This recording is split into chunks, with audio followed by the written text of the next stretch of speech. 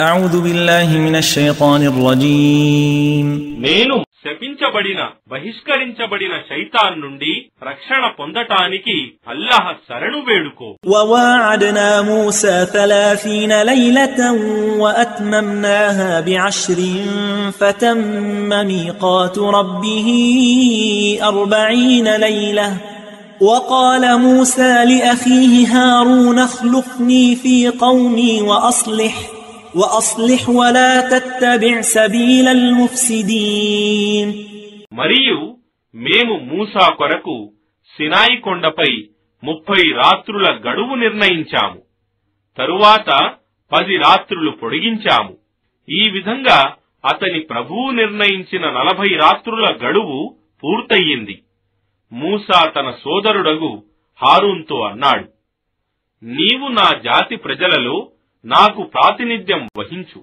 మరియు సంస్కరణకు పాటుపడు మరియు అరాచకాలు చేసేవారి మార్గాన్ని అనుసరించకు ولما جاء موسى لميقاتنا وكلمه ربه قال رب أرني أنظر إليك قال لن تراني ولكن انظر إلى الجبل فإن استقر مكانه فسوف تراني.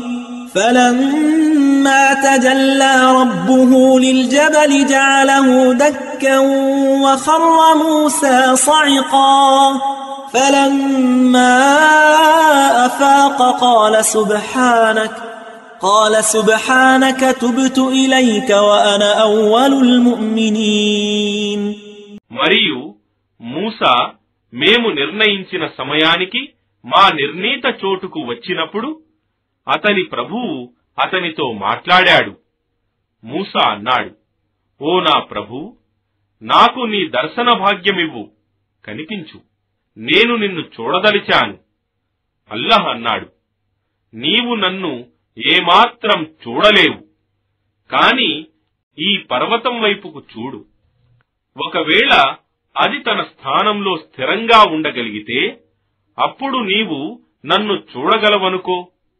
అతని ప్రభువు ఆ కొండపై తన తేజస్సును ప్రసరింపజేయగా అది భస్మమైపోయింది. మరియు మూసా స్పృహ తప్పి పడిపోయాడు. తెలివి వచ్చిన తరువాత మూసా అన్నాడు నీవు సర్వలోపాలకు అతీతుడవు నేను పశ్చాత్తాపంతో నీ వైపుకు మరలుతున్నాను మరియు నేను విశ్వసించే వారిలో మొట్టమొదటి వాడను قال يا موسى إني اصطفيتك على الناس برسالاتي وبكلامي فخذ ما آتيتك وكن من الشاكرين అల్లహ్ అన్నాడు ఓ మూసా ప్రవక్త పదవికి మరియు సంభాషించటానికి నిశ్చయంగా నేను ప్రజలందరిలో నిన్ను ఎన్నుకున్నాను. కావున నేను నీకిచ్చిన దానిని తీసుకుని కృతజ్ఞులలో చేరు.